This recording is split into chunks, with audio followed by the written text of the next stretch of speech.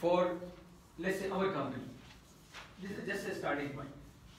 तो अभी हमें मालूम है कि हमारी कंपनी मल्टी लोकेशनल है मल्टी प्लांट है मल्टी प्रोडक्ट है राइट तो ऑब्वियसली इसका मतलब क्या है कि अगर हमें हमारी कंपनी का बजट बनाना है तो our budget is going to be a master budget comprising of सब budgets for different different unit So the base information that we will need to comply is number one.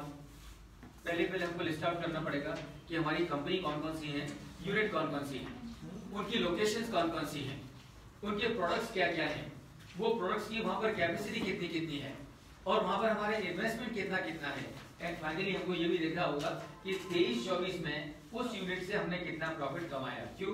क्योंकि इसका मतलब सस्टेन्ड एग्जिस्टिंग ऑपरेशंस यानी कि उस unit से अगर मैंने इतना प्रॉफिट कमाया है तो कम से कम इतना प्रॉफिट मुझे इस साल में तो कमाना ही कमाना है।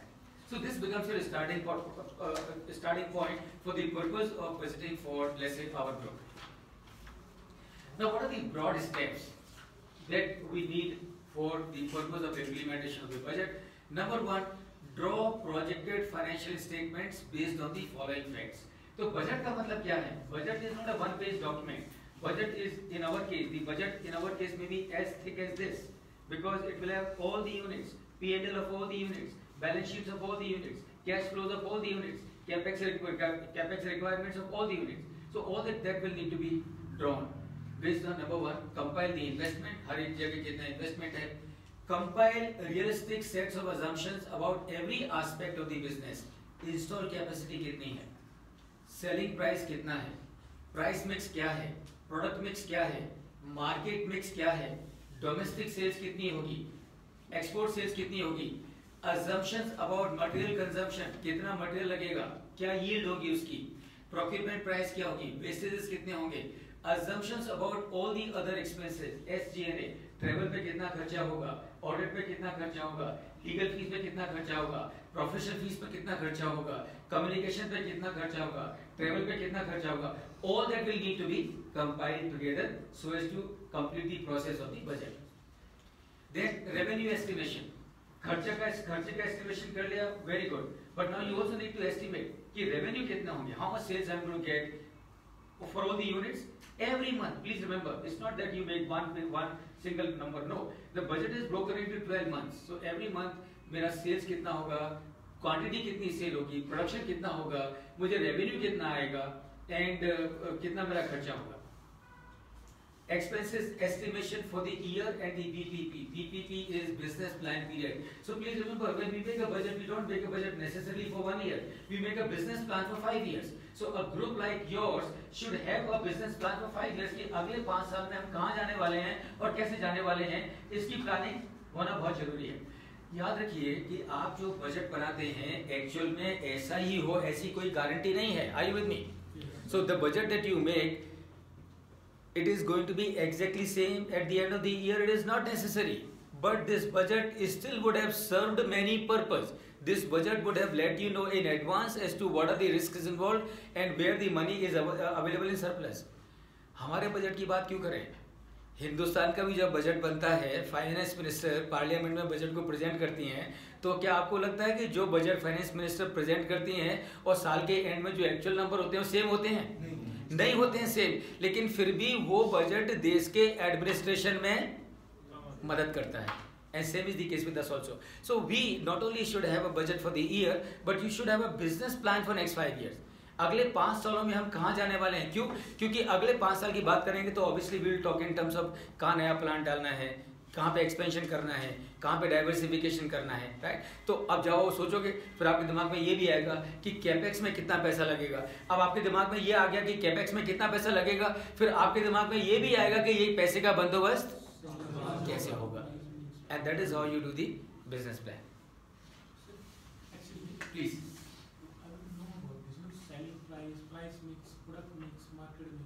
okay see price mix price mix का मतलब ये है कि एक प्रोडक्ट जो आप बना रहे हैं उसकी डिफरेंट डिफरेंट प्राइसेस हो सकते हैं because market segments that you may be catering so depending on the market segment you are you are catering the price में भी different so the different different prices that you use for the same product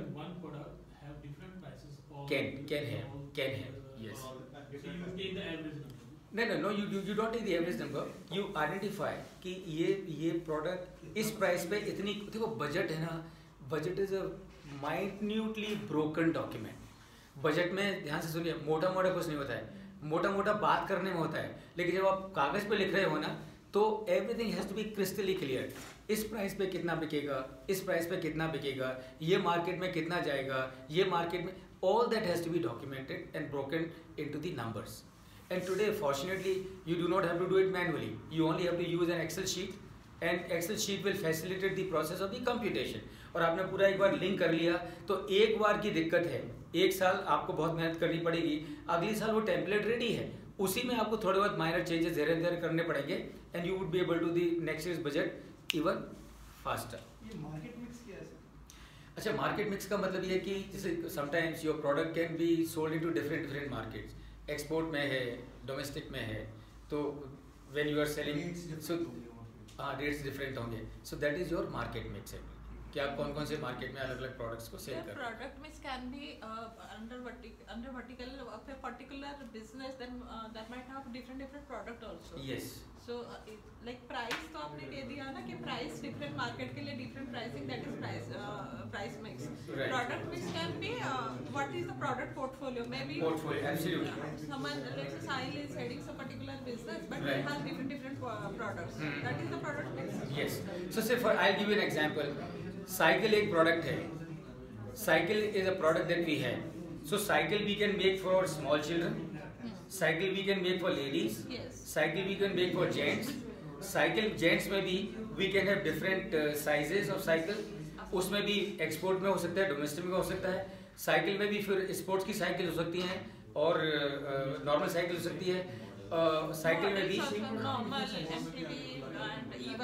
so this all becomes the product mix this all becomes the product mix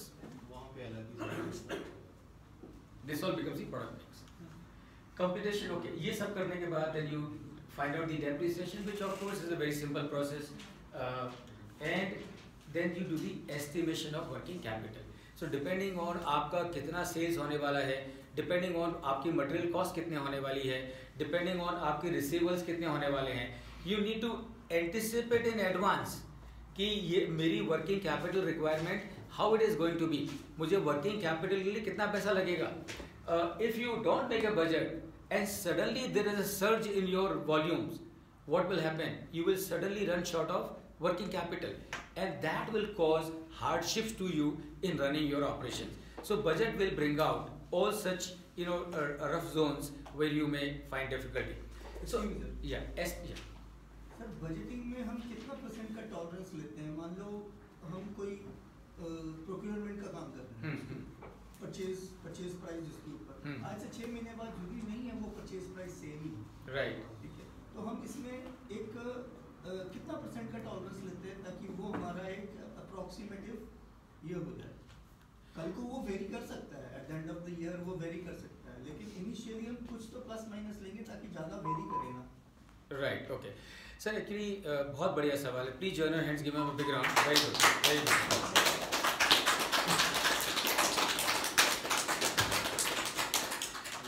sir actually your your question is absolutely pertinent अब देखिए all of you finance में हम जो भी करते हैं remember we are not forecasting the future are you with me तो जब आप बजट बना रहे हो तो आप भूल के भी मत समझिए कि आप फ्यूचर फोरकास्ट करने की कोशिश कर रहे हो। जब आप बजट बना रहे हो, आप एक सीनेरियो क्रिएट कर रहे हो which in all likelihood should happen okay so therefore when you are making a budget the question what should be the tolerance limit is up to you to decide as to what should be the tolerance limit ideally this should ideally whatever numbers that you are taking they must be as precise as accurate as possible without any buffering.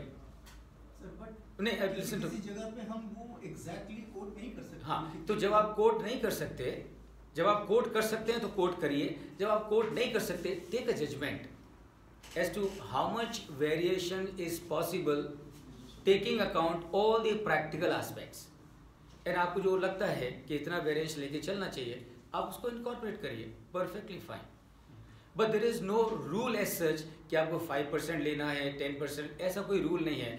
It is all situation based आपकी जो situation है, उसके हिसाब से आपको लगता है. आपको लगता है कि छह महीने के बाद for whatever reason the cost of the scrap is going to increase by one percent one minute one ju- ju- just one second. So for example if suddenly you in your estimation in the estimation of all of you together if you feel that the scrap cost is going to increase by 2% 6 months down the line so it's up to you to build that 2% increase in the scrap cost now when you're making the budget. And why is that so? And that is because if that really happens okay you would have planned for it in your budget. So you would have safeguarded yourself against that increase of 2% in the cost. That means what? That means you would have accordingly adjusted your selling price also. क्योंकि दो percent अगर वहाँ तो वो सब है ना it is all up to you and budgeting का मतलब ये कि आप सब लोग बैठ के एक एक चीज़ को क्रिटिकली एनालाइज करें डिसाइड करें एंड उसको अकॉर्डिंगली इनकॉर्पोरेट करें ये बहुत बड़ा ब्रेनस्टॉर्मिंग है if you have raw material purchasing a raw material of over probably 300 300 items and suddenly there are uh, there is a surge or suddenly there is a uh, flip of uh, prices which is beyond your control because of shortage uh, incorporated somewhere you know. So that makes the total budgeting a false one. It makes I mean if that surge or that jump mm -hmm. isn't uh, you have not uh, calculated it before you have not incorporated it within your budget probably it will it will make no sense making a budget like that. So how do we do it actually when there is 300 material inside and you are not from the same industry, you cannot forecast how and what things can. Sir, sir, I will tell you. For there are problems, and for every problem there is a solution. We only need to find as to where that solution is. If I don't belong to this industry, it does not mean I can say I don't belong to this industry, therefore I should not make the budget. I cannot say that.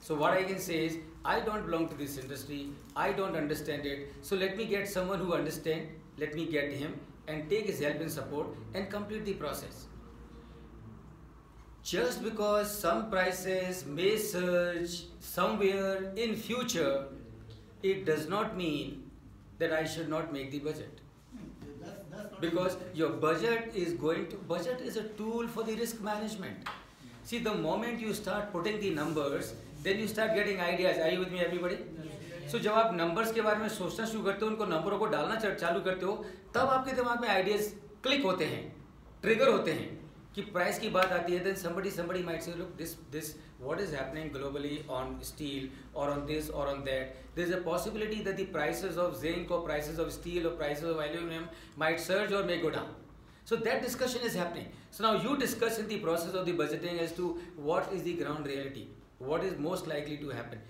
take that in account build that in your budget and when you are making the budget be as precise as possible but remember it's a tool for risk management also अगर कहीं भी आपको लगता है कि prices बढ़ने की possibility है build इनिटी of budget because if you if you ignore that then you will be in trouble if it really happens आपने एंटिसिपेट किया बजट में बिल्ड कर लिया लकीली वो ऐसा नहीं हुआ you are in a good condition but that is how you drive yourself as safe and and do the risk management for yourself and sir एक बात मैंने भी पूछी। यस सर ये आपने जो सेलिंग प्राइस आपने जो लिखा है हाँ जी सर एक कंपनी जो है हाँ जी सर वो उन्हें फिक्स किया हुआ मैंने इतना प्रॉफिट लेना है हाँ जी सर मैक्सिमम प्रॉफिट हाँ जी सर हाँ जी तो उसके नंबर ऑफ़ कस्टमर जब मार्केट में कम हो जाते हैं। और ये कंपनी ऐसी है जो मतलब कि थोड़ा वो कम रेट में माल बेचता है। और उसकी जो कस्टमर की रेंज जो है बढ़ जाती है। राइट जब कस्टमर की रेंज बढ़ जाती है उसका साइज़ जो पहले वाली जो जो ज़्यादा प्राइस लेता।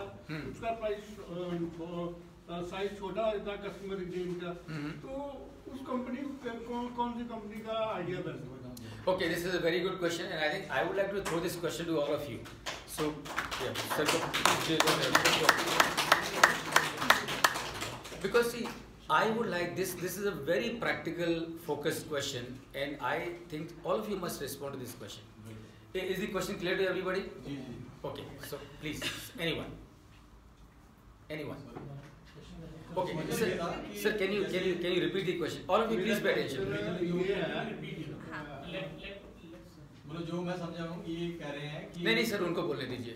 क्योंकि जब उनका बोलवा नहीं समझा तो आपका बोलवा कहाँ से समझेगा मेरा क्वेश्चन है एक कंपनी है।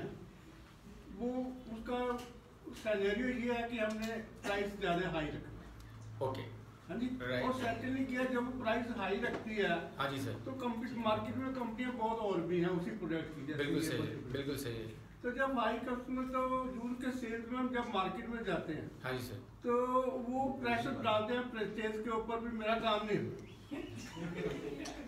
क्वेश्चन मेरा है। और सेकेंडली तो कुछ कंपनियाँ मार्केट में ऐसी हैं जो वो प्राइस प्रोडक्ट वही है क्वालिटी वही है वो अपना प्राइस थोड़ा डाउन कर देती हैं। हम्म हम्म। तो डाउन करती है उसका शेयर वो वाली कंपनी ले जाती है। सही बात है। हाँ जी तो यहाँ पे मैं ये पूछना चाहता हूँ कि कौन सी कंपनी का आइडिया बेस्ट है? कम वाली को बैठता है या ज़्यादा आपको क्या लगता है sir actually what do you think आपको क्या लगता है you want to answer okay she is gonna answer your question sir sir ने जो अभी तक कहा अ, उससे जो मेरे को समझ लगा है उसमें ये है कि अगर मान लो कि कंपनी ने एक प्रोडक्ट बनाया है राइट एंड वो हाई प्राइस पे चार्ज कर रही है उस पे करेक्ट तो दैट तो वो कंपनी यूज़ कर रही है प्राइस स्कीमिंग स्ट्रेटजी कि। वो पहले पहले होता है कि दूध के ऊपर जो मलाई होती है पहले वो लपेट लो। सही है। उसके बाद उसके बाद जो अगर मार्केट में कॉम्पिटिटर जाएँगे तो वो ऑब्वियसली हमें भी प्राइस कम करना पड़ेगा अगर वो लो पे बेच रहे हैं। तो पहले का मार्जिन तो हमने ले लिया बाद में कम कर लो। नॉट एन इशू नहीं नहीं ये क्वेश्चन नहीं है। मतलब कि मेरा कहने का मकसद है अगर या तो फिर क्या है कि जैसे वो वाली कंपनी है उसको प्रैक्टिकली मैं बात कर रहा हूँ ये this is not a ordinary talk. Practically market में ये प्रॉब्लम है. तो जब वो, वो उसके लिए या तो अगर जैसे बिरला टाटा वाले बंदे हैं या वो और बड़ी कंपनी है हम्म। उन्होंने कहा या ना प्राइस अगर बढ़ जाता है तो लोग कहते हैं भी ये यहाँ से कम होने के चांसेस नहीं है. हम्म. तो बड़े क्योंकि वो प्रोडक्ट के ऊपर मार्केटिंग के ऊपर भी बहुत सारा खर्च होते ब्रांड वैल्यू वो पूरी की पूरी बना के रहते हैं वो हमेशा अपर जोन पे रहते हैं. और एक की ग्रोइंग कंपनी है। वो उस वो स्टेज में आना चाहती है। Right, प्राइस पर लेकिन क्या है जब उसको ये वाली प्रॉब्लम है कि मार्केट में शेयर नहीं मिलता तो वहाँ